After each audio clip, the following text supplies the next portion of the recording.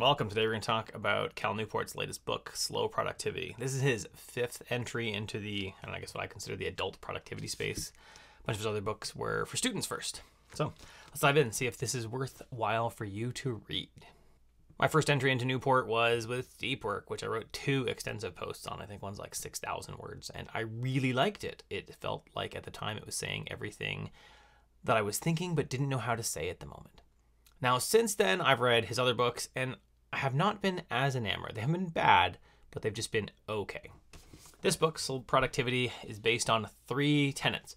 First, do fewer things. Second, work at a natural pace. Third, obsess over the quality of the work you do. He contrasts these three ideas with the thought um, that we currently have a faulty definition of productivity, consisting of just doing more things faster and using more time to do work.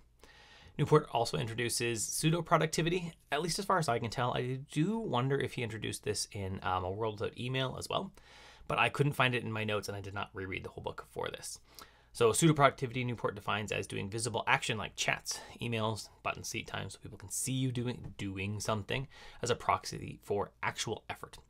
It's hard to measure effort. It's hard to measure the product of things uh, in a knowledge work environment.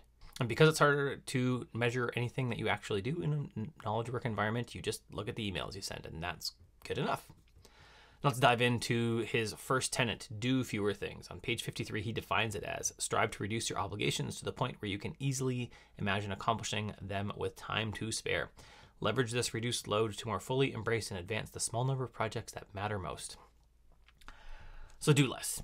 And it really points out that any project that you do uh, decide to take on has extra overhead, right, in form of email to organize it, tasks, just like extra stuff that's outside of the specific project doing the work. Now, this is also where I start to have exceptions uh, or issues with productivity books, and he highlights the Achilles heel of every productivity book I've read recently, where it assumes you have autonomy over your work. And he really only makes a passing reference to those that may not, and that's about it. He says, Oh, you might not, though, and it's going to be harder if you don't. Now, he certainly never steps into the economic arguments for like how our system is designed, and this is just faulty that most people will not have autonomy, and you're going to have a bad boss, and what do you do about that? Uh, and that if you don't, if you do fewer things, if you don't just do what your boss says, you'll be out of a job, and then you can't have a house, and you can't eat. So he really never addresses that. So after a statement about committing to doing less, he really has some generic productivity advice, asking your boss to remove things if things were added to your list. That's actually something I used effectively in my first job. My boss would come up to me with some new all fired idea, and I'd be like, okay, great, what don't I have to do today? And he'd almost always say, oh, never mind, just don't do the thing I said. But most people aren't going to be able to do that. And Newport never really addresses that. The second tenet is work at a natural pace. Newport defines this on page 116 as don't rush your most important work. Allow it instead to unfold along a sustainable timeline with variations in intensity and settings conducive to brilliance. Now, this natural pace that he wants you to take on would have you measure your productivity not over days or weeks, but like months even or years better even decades right he cites a bunch of like scientists who when you look at their life you're like they did so much but then you look like they took like a year off to go like goof around. They took every summer to like go hang out at the cottage, stuff like that. Um, and it'd be great. Again, it'd be great if your boss would actually let you do that. Say, oh wait, over the last ten years, I've been super productive, but they don't care. They care about the last project. They care about like this week, last week, last month. That's all they care about.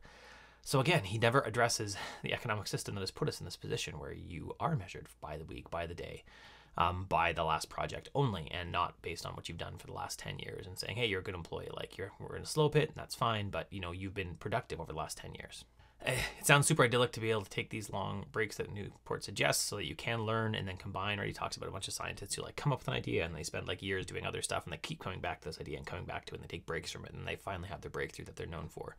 That makes them everyone think that they're like a massive um, productivity person. They did so much in their life. But all the examples he uses has wealth of some fashion. Just didn't need a job. Like could have done whatever they wanted, basically. And he never addresses uh, this more than just a passing reference of oh they're wealthy and it's, it's a hard thing to do. Now he also brings up the current buzzword of quiet quitting, but not in the same way that I've seen. So as I've understand it, you show up and do your job, you work from nine to five, and that's it. You just do your job. You're not available otherwise. And Newport says, well, you know, sometimes you should be quiet quitting, and you should be like not quite, just doing a little bit extra, not as much, right? Shutting down your phone a little more often, stuff like that. But the rest of the time, you should be like in there all the time and like just being around all the time. So ultimately, he's really advocating for a lot of overwork, a lot of work, um, uh, more work than you're being paid for, but only sometimes. And the rest of the time, you're only doing a little tiny bit of work more than you paid for. Again, just again falling into the productivity hustle culture mindset, even though he tries to say he's not because he's the deep work, the slow guy, but doesn't really seem like it when you look at his arguments. Now, his final point is obsess over quality. It's page 173, defined as obsess over the quality of what you produce, even if this means missing opportunities in the short term. Leverage the value of these results to gain more freedom in your efforts over the long term. So, in short, this is the advice from So Good They Can't Ignore You. Do good work, do such good work that people recognize you, and then leverage that not into more money necessarily, but to more autonomy over your work.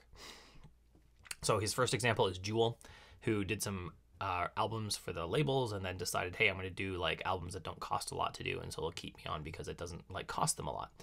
But by her own admission, by that time she made that decision, she didn't need any more money. So not a great example because you know I need more money. Do you need more money? So I don't know how we're supposed to follow this. I don't need more money and I'll do what I want thing. His second example is Paul Jarvis, who disclaimer I've done a little bit of work for in the past.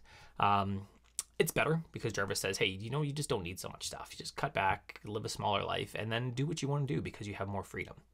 That's better. But it's, again, that's like the one example I thought was reasonable at least. The rest of his examples really rely on survivorship bias, right? He's like, well, Bill Gates dropped out and he did great. Like all these people that are like, how many other people dropped out and didn't do great?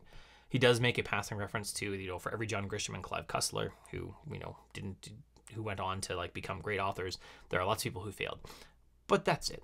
He says you should only quit when you see economic benefit, and, but that's really it. This is like a throwaway, like short couple paragraphs in like a whole book of, hey, you should just like dedicate to yourself and do your thing, and you sh- you need to focus on you, and that's the important thing. Uh, and he doesn't really seriously engage with like any of the economic factors that make it impossible for most people to be able to do this. So finally, should you read Slow Productivity? As I read more productivity books, um, by anyone at this moment, really. Maybe with the exception of 4,000 Weeks by Oliver Burkeman. I can't help but see that most of them fall firmly into uh, agreement about our economic system is like perfect and this is how we should do things and that it's your fault. And this is ultimately what capitalism and business wants you to think. When you don't succeed, it's your fault because you didn't do the work. It has nothing to do with poverty or lack of walkable cities or anything like this. Nothing with the structure that's around you. Uh, it has everything to do with your choices. And Newport just sticks with the script of all productivity authors in this. It is your fault. You need to do the work. And there's barely passing reference to, you know, any external factors that may affect and may make it so you can't um, win. That you can't, you can't. Like you literally can't because that's how the factors are set up for you. so ultimately, should you read it if you're new to the productivity space? And it's a decent book. It's not bad. Um, I think it misses against some core arguments, like I said, about the economic factors that we live in. But again, who who does this? Like, who's the market for this? It's honestly probably a bunch of white people that have some affluence already and can take the time to read. Uh, so it's not anyone who probably has to deal with many of these economic factors that make it impossible um, to succeed. So again, productivity book if you're looking to get started in them not a bad book, not the best, just it's fine. It's a fine book. Uh, I still have a soft spot for Newport because of deep work because I read it twice. Maybe I should read it again though and see if it's actually worthwhile. That's it. If you like the video, thumbs up below. If you love it, subscribe, hit the bell, all that YouTube stuff. If you want to see all my book notes, you can go to curtismchale.ca slash membership and members get access to all of the raw book notes I take for all of my books. Have an awesome day.